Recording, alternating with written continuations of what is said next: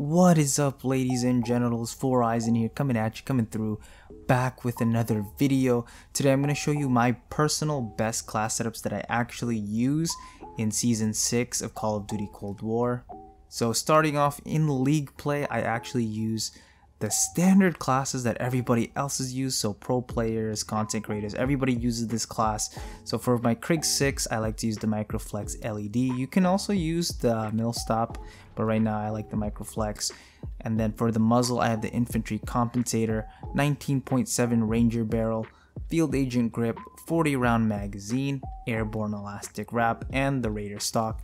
Again this is just a basic class setup that everybody uses and then for my secondary, which is the Diamatti, I use the infantry compensator, 7.8 extended barrel, steady aim laser, 24 round mag, and the airborne elastic wrap.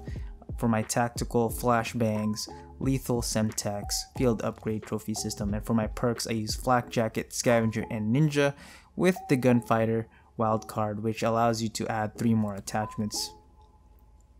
So for my next class setup, which is the SMG, which is my main role in league play, we have the AK-74U. For the muzzle, I have the Spetsnaz compensator, barrel 9.3 extended, foregrip, GRU elastic wrap, and the KGB skeletal stock. Again, just another standard class setup that everybody uses. The attachments for the Diamatti is the same, so I'm just gonna go ahead and show you the perks. So the perks is gonna be a little bit different. We're gonna be using flak jacket, but instead of scavenger or a blue perk, we will be using tactical mask and ninja. So going ahead into multiplayer, this is my personal best class setup. So starting off with my number one class setup is using the M16 and for the M16 I use the agency silencer, 20.5 task force barrel, field agent foregrip, airborne elastic wrap, and the Raider pad. For my secondary, I used the AMP63 with the sound suppressor, 6.1 reinforced heavy barrel, steady aim laser, 20 round mag, airborne elastic wrap, with my tactical being stim shot, lethal, semtex, field upgrade jammer, and for my perks, I have perk greed as my wild card so I can equip 6 perks, which are flak jacket, tactical mask, scavenger and quartermaster, and the ninja and ghost.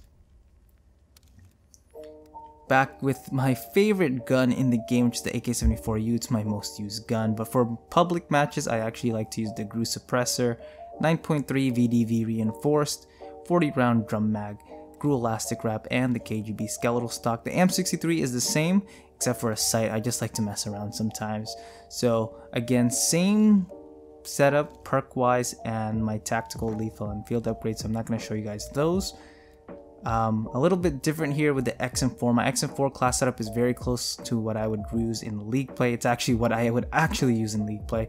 So for my optic, I use the Microflex LED, infantry compensator, 13.7 Ranger barrel, mounted flashlight, field agent grip, and then 45 round fast mag. If this was league play, I would just use the 40 round, and then airborne elastic wrap, and then Raider pad. Again, the AMP63 is the same, so I'm not going to show you those. Same thing with my uh, tactical, lethal, and field upgrade. I'm just going to skip over them if they're the same because you can see it on screen. But for my perks, if I have three perks, I like rocking flak, jacket, scavenger, and ninja.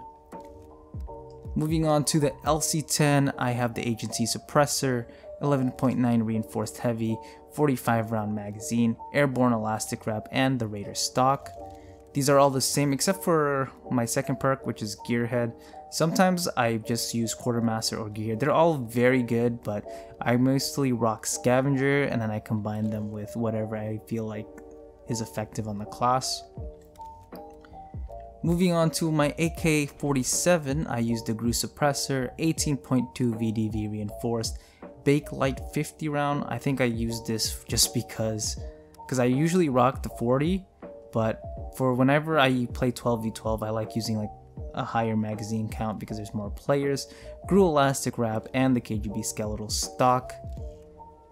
And then for my secondary, I use the nail gun. There's no attachments for the nail gun, you just pretty much use it. I think I was grinding camos Moving on to the KSP, we have the agency suppressor, 10.5 task force barrel, 42 round mag, airborne elastic wrap, and the Raider stock. As you can see, they're all pretty much the same. class setup. So yeah, this is pistol is a Diamatti and it's the same as my league play class. So I'm not gonna show you guys anything there. But that's why I don't like making best class setup videos because they're all pretty much the same. For my FFAR1 class, it is a bit different. I like to use the SOCOM Eliminator. 21.2 Ranger barrel, mounted flashlight, field agent grip, 38 round mag, airborne elastic wrap, and Raider stock. If you're wondering why I don't use a sight on the FFAR1, there's like less visual recoil. A lot of pros and other players notice this as well. That's why I don't like using a sight. I just use iron sights when I'm using the FFAR1. And then for my pistol, it's a little different. This is the M1911. So I use the agency suppressor, 6.45 reinforced heavy, steady aim laser, 12 round mag, and airborne elastic wrap. Then moving on to my MP5 class, I have the agency suppressor, 9.5 reinforced heavy, 40 round drum mag, airborne elastic wrap, and the Raider stock. For my secondaries, I am using the Marshalls. I think I was just trying to get this DM Ultra because I haven't gotten it yet, but I used uh, 12.1 extended. This recently just got a nerf, so that's why I don't use Dragon's Breath, and then I just have it dual wield. Then my stoner class, I have the agency suppressor, 21.8 task force barrel, 100 round speed mag, airborne elastic wrap, and the Raider pad. And then this is just an AMP63 class with akimbo instead, but I probably will change this in the future. I haven't changed it to like a single AMP63, but I probably will after this. And then my sniping class, I have the K, well, not the KSP, the Swiss K31. And so I have the sound moderator on it, 24.9 Tiger Team. This is the most important attachment for the Swiss, by the way. And then 8 round mag, airborne elastic wrap, and the Raider stock. For my secondary, I have the Ironhide shotgun. This shotgun is so OP. Like I'm gonna, I'm probably gonna try to get this DM Ultra, but I still have to do some other videos.